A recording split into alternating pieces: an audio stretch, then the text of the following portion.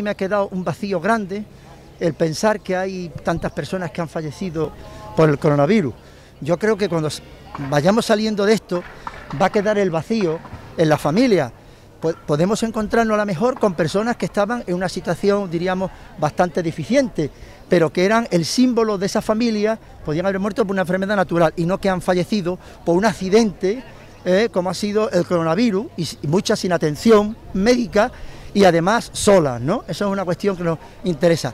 Y luego el tema de las residencias también, porque ha habido, eh, ha habido mm, comunidades autónomas que son las que tienen verdaderamente las atribuciones y se han puesto una serie de protocolos, como pasado en Madrid, como pasado al parecer en Valencia y en otras, en otras comunidades autónomas, eh, para que determinadas personas con patologías, diríamos, bastante fuertes, no pudieran ir a los hospitales.